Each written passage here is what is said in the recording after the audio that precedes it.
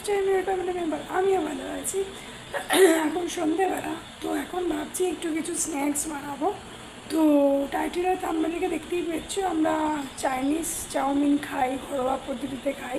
কিন্তু আজকে বানাবো সাউথ ইন্ডিয়ান স্টাইলের মানে ওই কারি পাতা এই দিয়ে। আজকে বানাবার ইচ্ছা আছে, তো ভাবলাম যখন বানাচ্ছি সেটা তোমাদের সাথে শেয়ার না করলে চলবে না। তো চলো, মিনুষকে চেয়ে গিয়ে একদম দেখা করছি। কীভাবে এই সাউথ ইন্ডিয়ান স্টাইলের চাউমিনটা বানাচ্ছি সেটা তোমাদের সাথে শেয়ার করব। ভিডিওটা স্কিপ করবে না স্কিপ করলে জানতেও পারবে না। আর যদি ভালো লেগে থাকে like comment share and subscribe করে দিও। তো চলো, বেশি না বকে একদম নিউজ কিচেনে গিয়ে তোমাদের সাথে দেখা করছি আর কীভাবে বানাচ্ছি সেটাও শেয়ার করছি। তো চলো, যাওয়া যাক।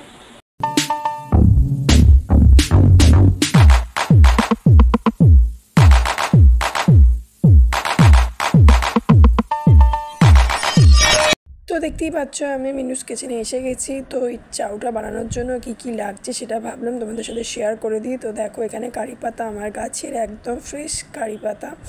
তো ওখানে বাদাম আর আলু নিয়ে নিয়েছি, আর এখানে চাউটা আমি আগে সেদ্ধ করে নিয়েছি। তেল আর নুন দিয়ে সেদ্ধ হয়ে গেছে, ঠিক আছে?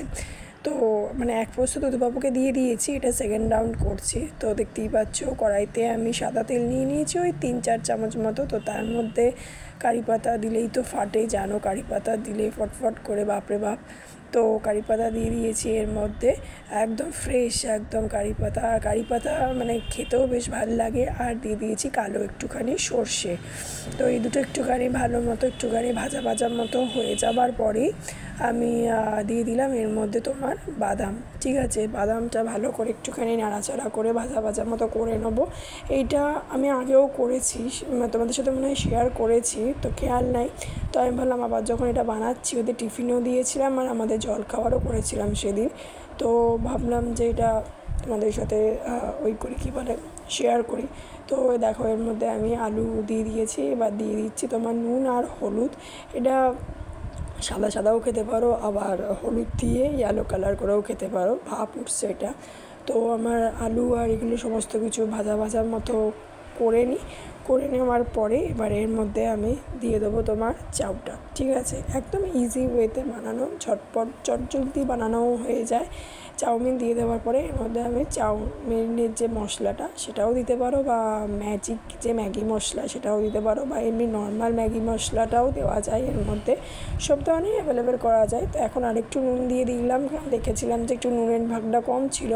তো লাস্টে দেখো এখানে একদম সিম্পল ওয়েতে একদম মশলা দিয়ে দিয়েছি। অল্প করেই মশলাটা তুমি জলে জলেগুলোও দিতে পারো নর্মালও দিতে পারো, অসুবিধার কিছু নেই। তো আমার সাউথ ইন্ডিয়ান স্টাইলের চাউ বলো, বানানো হয়ে গেছে। অনেকে চাইনিজভাবে বানায়, অনেকে কোরিয়ান স্টাইলের বানায়। তো আমি ভাবলাম যে একটুখানি এটা দিয়ে বানিয়ে কীরকম খেতে লাগে? নিউ নিউ রেসিপি করতে বা এক্সপি মানে ট্রাই করতে বেশ ভালো লাগে না?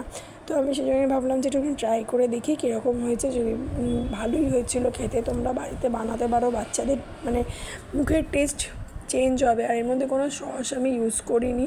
যেহেতু কারি পাতা আছে, সেজন্য সস দিইনি। তো এই হলো আমার আজকের রেসিপি যেটা তোমাদের সাথে শেয়ার করলাম। যদি কিছু ভালো লেগে থাকে, কী করবে like comment share and subscribe করে দিও। ওয়েট করো সুন্দর সুন্দর ব্লগের জন্য। আর হ্যাঁ সোমবার আমার যে কোনো ডেলি ব্লগ দেবো। আর বুধবার রেসিপি আর হচ্ছে তোমার শুক্রবার হচ্ছে ইনফরমেশন ভিডিও এইভাবেই আমি সেট করেছি মানে ভিডিও তোমাদের সাথে শেয়ার করব।